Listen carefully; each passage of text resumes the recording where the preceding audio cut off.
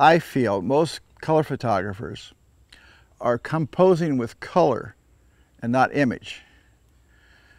I call that wimpy photography.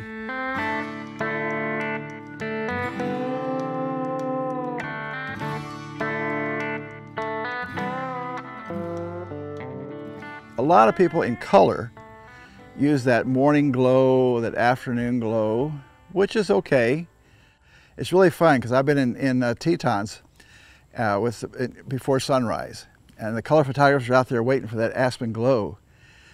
And I'm waiting for them to leave so the sun comes out.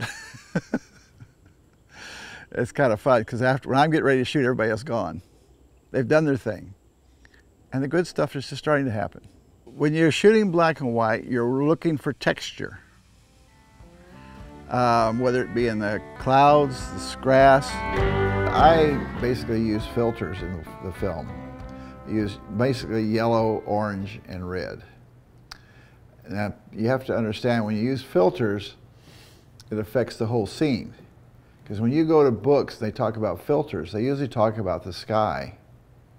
They don't talk about the foreground because the foreground changes too. Like if you have uh, a red filter and the sky goes really neat, and you have some red roses in the foreground, you'll have a bunch of white pick, uh, popsicles because they'll all turn white.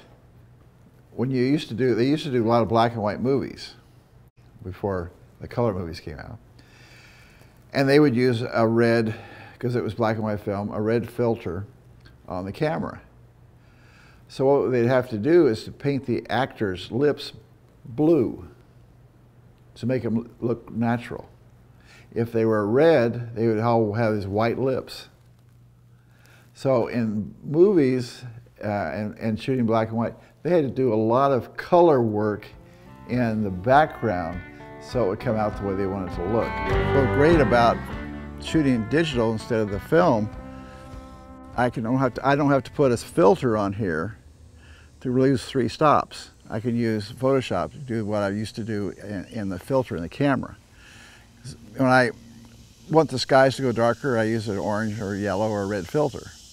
Well, you can do the same thing in Photoshop.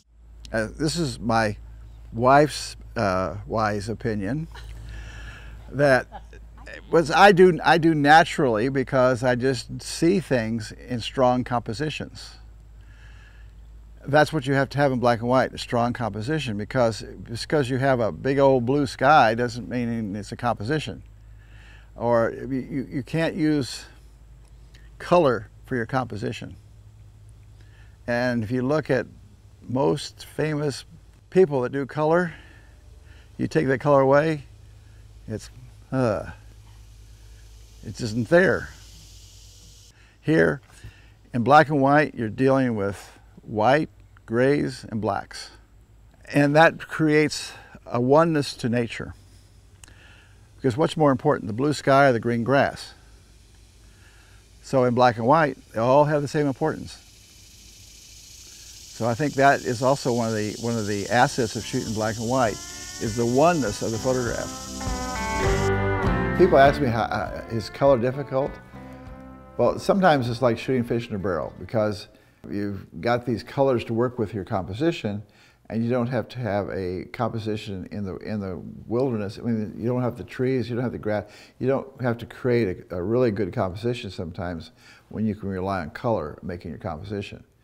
But to do a good color shot with good composition is just as hard as black and white, or maybe harder.